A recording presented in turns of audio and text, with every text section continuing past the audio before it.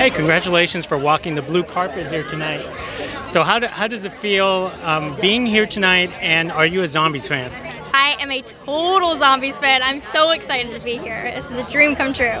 When, when, when did you when did you took the first opportunity? Did you watch it all the way since the first film? Oh yeah.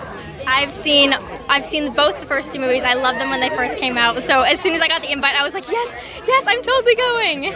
So which which team are you? You know, zombies, werewolves, humans, or or possibly this new team of aliens?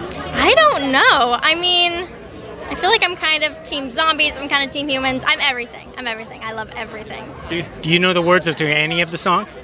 oh my gosh. I don't know. Um, I mean, my favorite is the what's the one? Someday. Oh yeah. That one's my favorite. I don't know. I'm so excited to hear the new ones for this one too. Well, I hope I hope one day you'll get to do something like this. Maybe we'll put it out there. and before I let you go, tell us some of your upcoming projects now.